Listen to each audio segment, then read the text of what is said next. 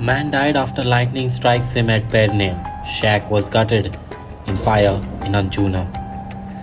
In the first case, 37-year-old Kalu Mali, staying at Hankhane Pernem, struck by lightning on Thursday morning at 5:45. He was a native of Panswal village in Bhilwara district of Rajasthan. Mali, along with two co-workers, was taking shelter under a temporary tarpaulin shed. There was heavy rainfall and lightning, and Mali fell unconscious after he was struck by lightning. He was declared dead and brought dead to the primary health center. Inquest, the Panchnama was conducted and body was sent for preservation at GMC, Bamboli.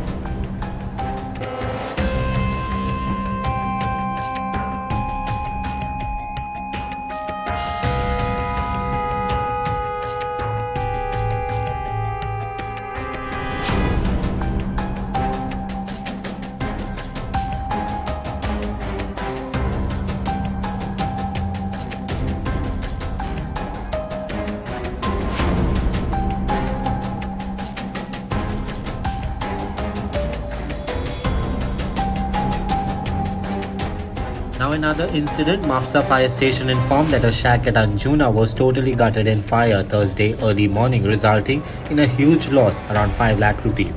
All items in the shack including furniture, electrical appliances and other materials were destroyed. The shack was located near the Luda Cafe in Anjuna which gutted in fire.